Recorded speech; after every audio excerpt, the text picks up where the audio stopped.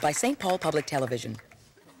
And then the bravest knight of them all raised Excalibur high above his head, and for one brief shining moment, the dream of Camelot was real. Celebrating 30 years in public broadcasting, it's Story Time with Mr. Sasso. Oh, hey! Hi there! Welcome to It's Story Time! Welcome! So, you know, before I go over there and tell the, you know, the, the kitty story, I like to tell my own story first. You know, something that I, you know, a story. So, my my wife, we, you know, it's our Valentine show.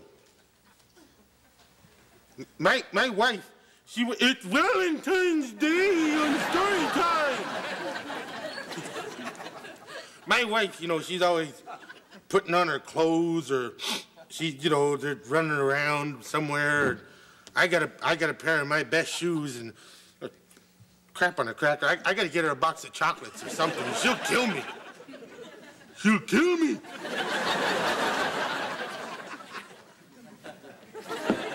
All right, here we go. Time for the story.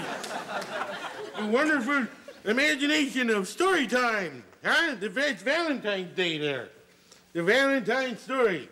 So what? Ah! Ah! Ah! All right. So, today's story is the, uh, the wonderful tale of Beauty and the Beast, which is a lovely tale of the. Jenny, why don't you run upstairs and get me a beer? And Nikki, you go with her and keep an eye on her.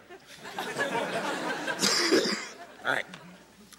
So this is the the once upon a time, the Beauty and the Beast, and there's the Beast, you know, and he's he says, you know, I'm I'm not so bad, and, and then the Beauty says, stop, stop, the the candle is singing. Thank you.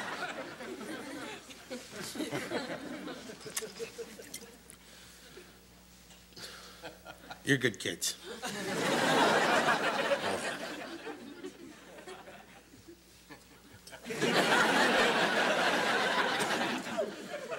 All right, so and the Beast. Get on down here, huddle around so I can, I'll keep an eye on them. We're doing the Beauty and the Beast.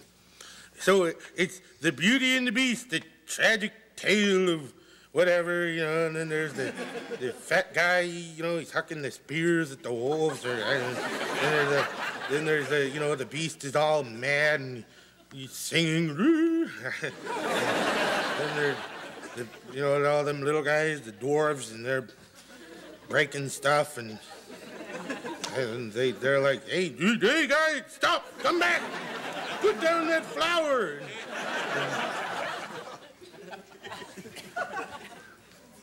the end.